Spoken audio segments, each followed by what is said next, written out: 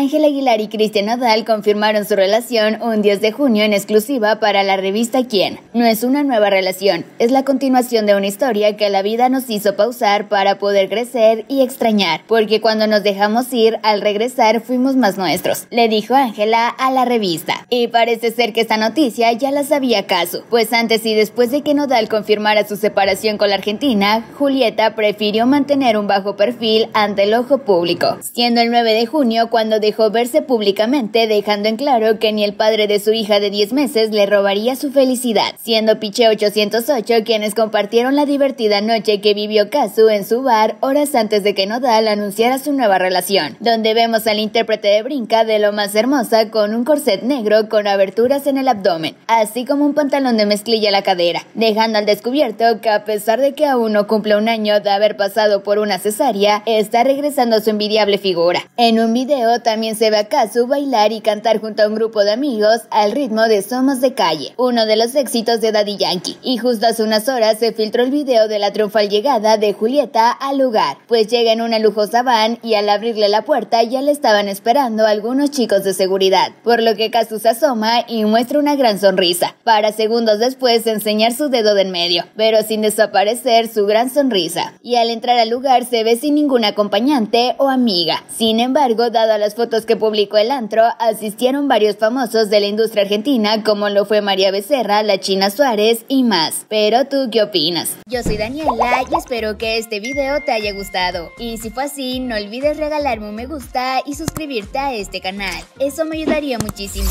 Nos vemos en el próximo video.